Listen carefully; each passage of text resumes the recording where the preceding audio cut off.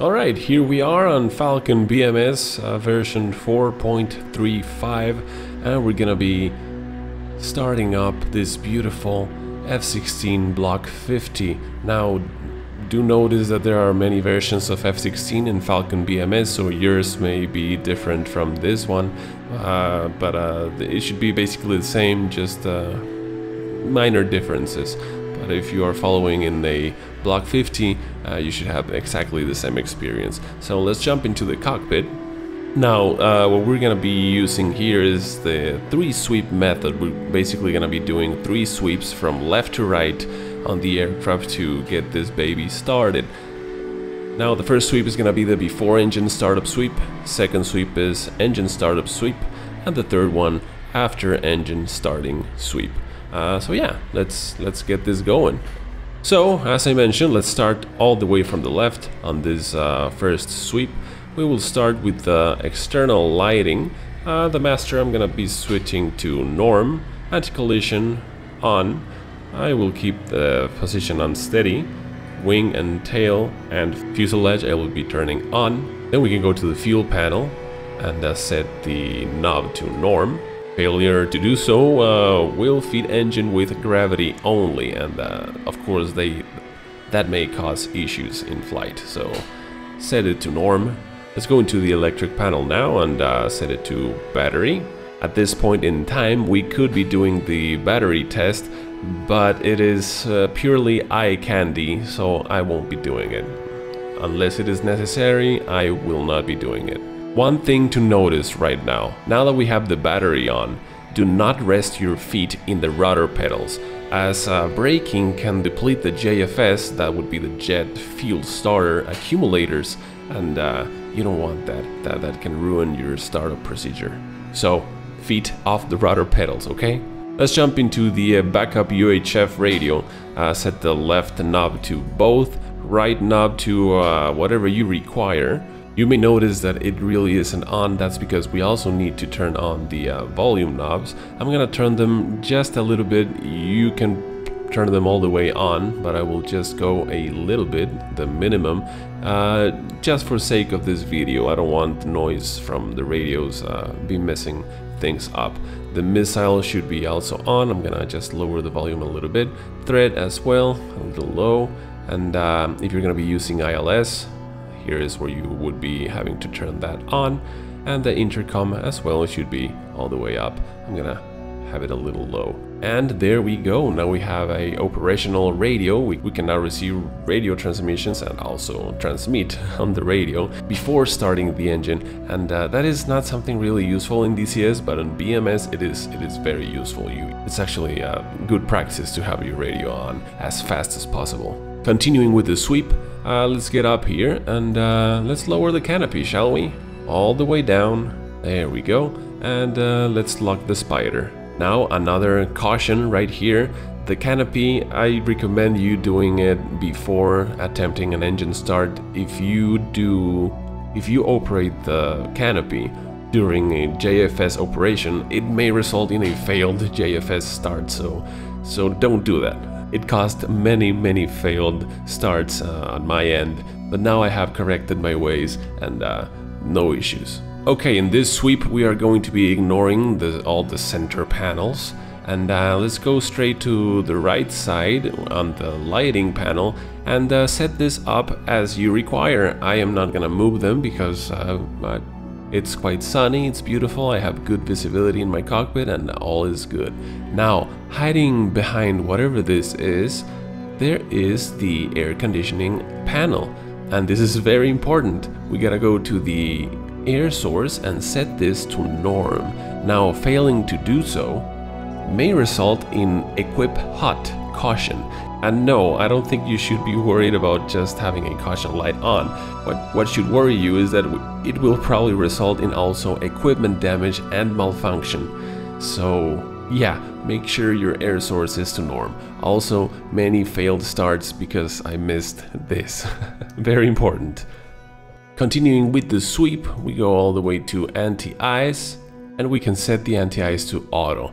If we want to test the anti-ice, we would be setting it right now into the on position and at the end of the flight we would turn it back to off and see if there is a 10 degree drop in the FTIT gauge.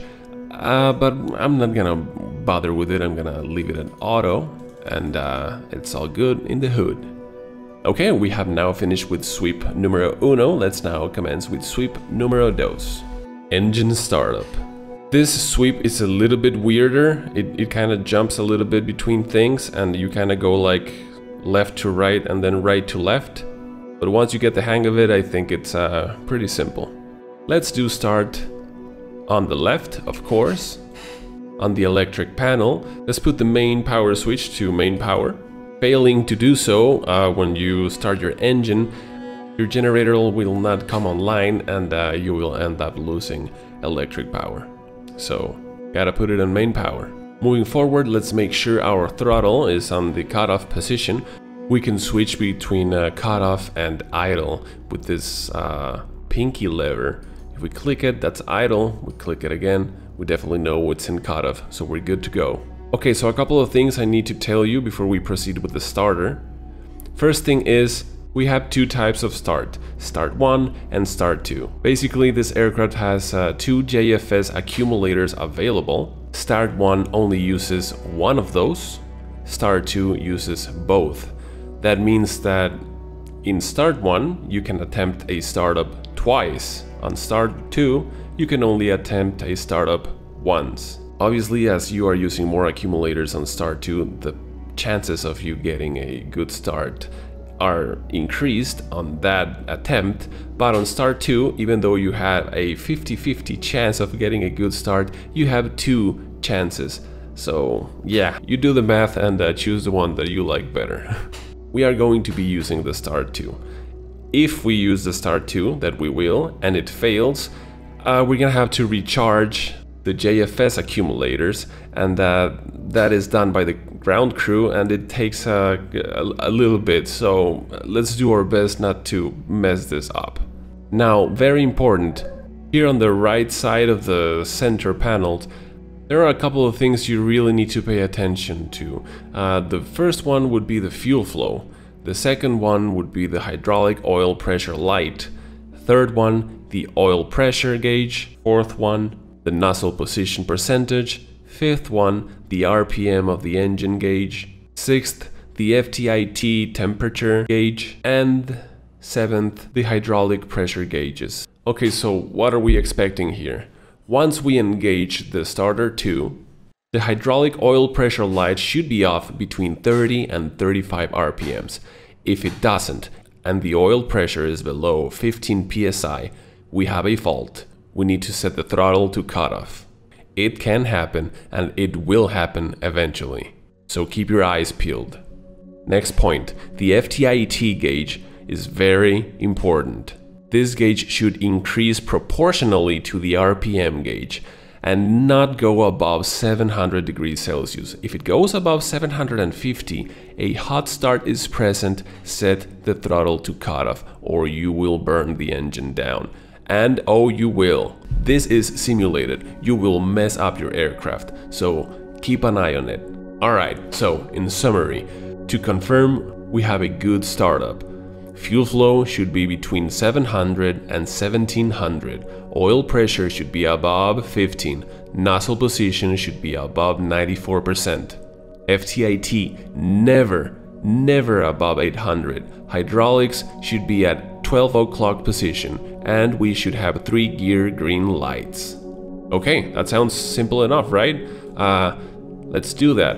Okay, so we're gonna go for star 2. When RPM reaches 25, we're gonna move the throttle to idle, and then we're gonna keep a good eye on those gauges. Ready? Start 2.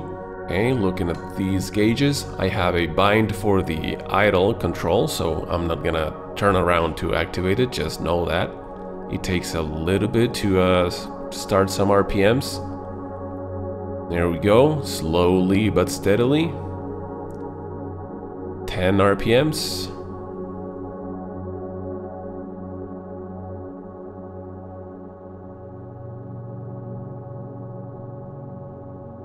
Twenty.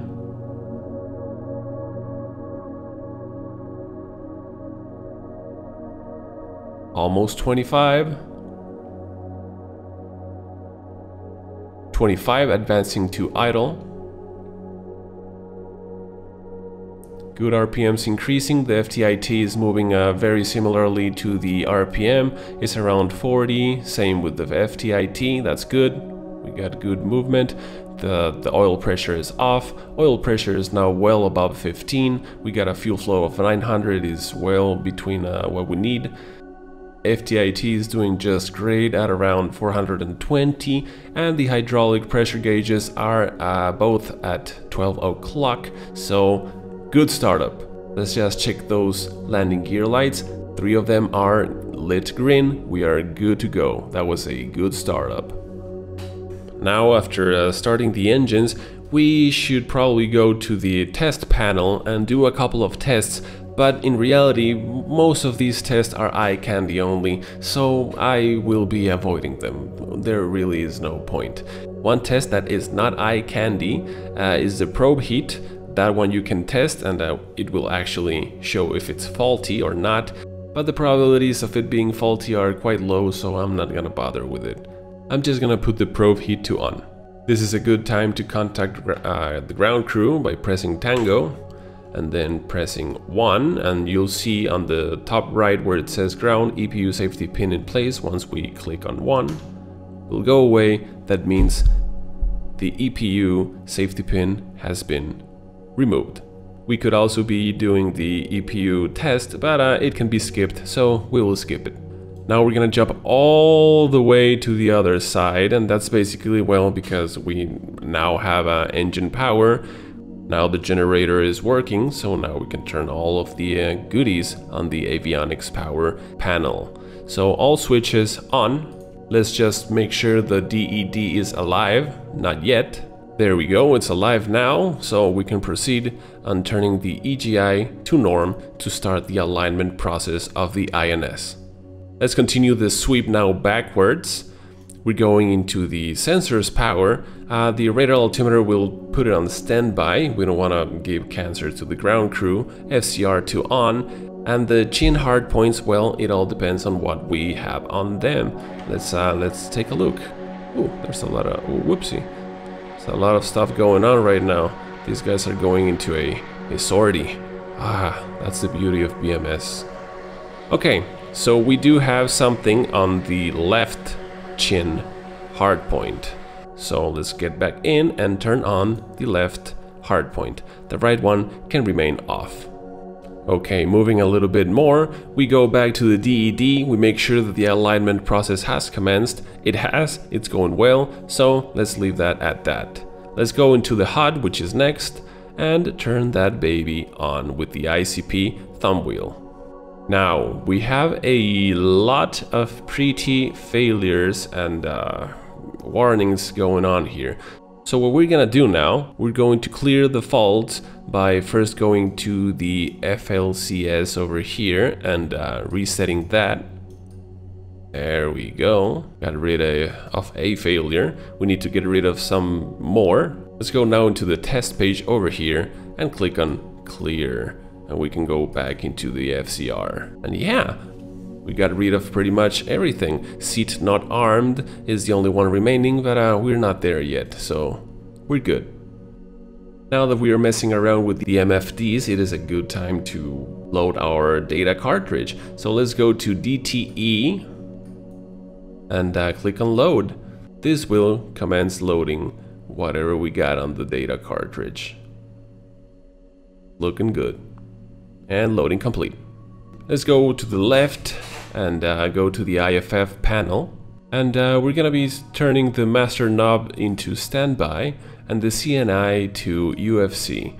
We are no longer using now the uh, backup radio, we are, we are now using the radios on the UFC. So now that that is done, uh, you should probably set the radios as you require.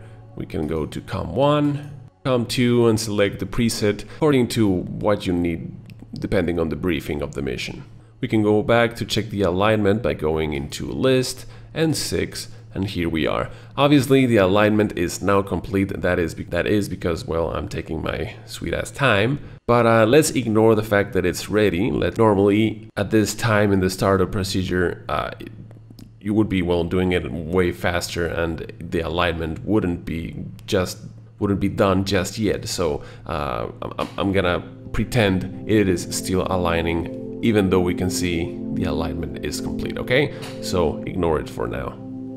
Okay so that's it for the second sweep. That was the engine startup sweep. Now we are moving forward and going into the third sweep. This is the last one. Obviously we must go all the way to the left now this would be the time to do the FLCS bit, but uh, that test is eye candy only, so we're not gonna be using it. Now what is really important and not eye candy at all is to check your manual trim panel and make sure the needles are well in the center.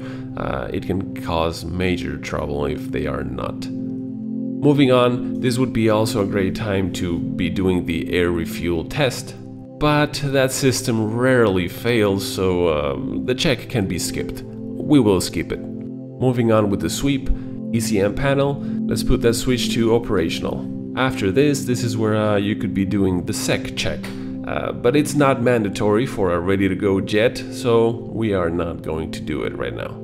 Moving on with the sweep, we go over to the TWA panel and we put we power it on, then we go to the CMS panel we turn on the jammer, the RWR, chaffs, flares, and uh, you select the program that you wish to use and the mode that you wish to use. I'm gonna set auto for the time being. HMCS, you could turn it on at this time if you so desire, but I recommend doing so when fencing in.